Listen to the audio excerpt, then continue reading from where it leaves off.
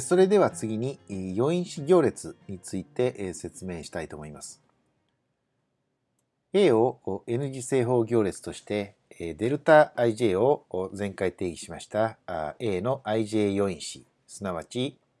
A の i 行と j 列を除いた n-1 次の行列の行列式にマイナス1の i たす j 乗 i たす j が偶数だったらプラス奇数だったらマイナスの符号をつけたものですね。とします。そして、えー、ij 成分があデルタ ij であるような行列の天地行列、すなわち ji 成分がデルタ ij であるような行列のことを A の4因子行列と言います。例えば3次の場合に例を挙げてみると、11成分は1行1列を除いた1792という行列の行列式にマイナス63でマイナス61に符号プラスをつけたものですからマイナス61そのままとなります。あるいは23成分6となっていますがこれは324因子ですね。3行と2列を除いて2、5、4、7という2つのの2次の行列式ですね。2、7、10から5、4、20を引いてマイナス6ですけれども23が3、2、4因子ですので、え符号はマイナスがついてプラス6となります。えこのように合計9つの二次行列式を計算して得られるこの行列のことを4因子行列と言います。今、A と A チルダ、この4因子行列をかけてみましょう。かけた結果を一応 X と置いて xij と成分を表すことにします。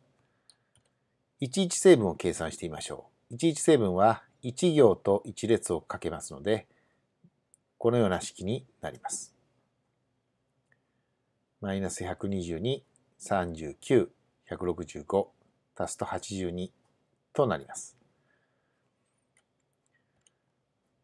これはこのように書くことができます。すなわち A の ij 成分 A11 と A12 と A13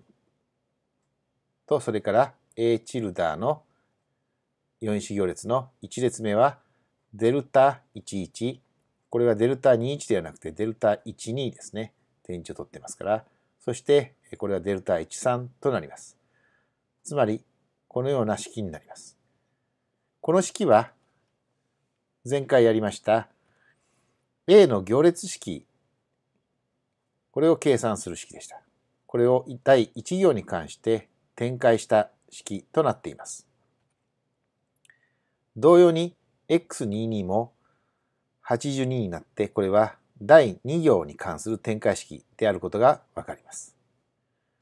x33 も同様です。ところで x12 はどうなるでしょうか x12 は実際に計算してみると0になります。これは偶然ではありません。この式は記号で書き直すとこのようになります。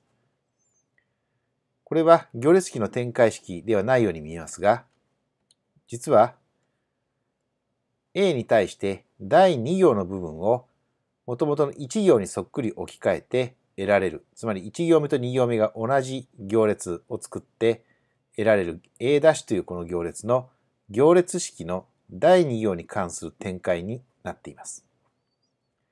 なぜならば、この A11 というのは、この A' の A21、2行目の1つ目の成分ですね。2行 ,2 行1列の成分と同じものになっていますから、しかもこの4因子は、A の214因子というのは、これ2行と1列を除いていますから、2行目が A と A' では違っていますが、その部分は無関係なので、結局 A' の4因子、デルタ21デルタ22デルタ23っていうのは、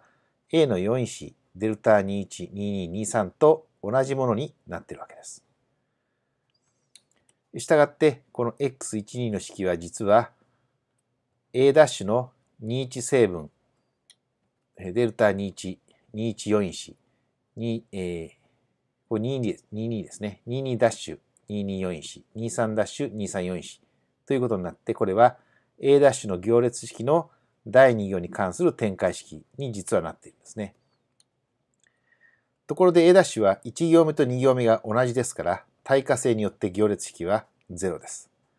つまりこれは偶然ではなく、行列式はこの x1 には0になるわけです。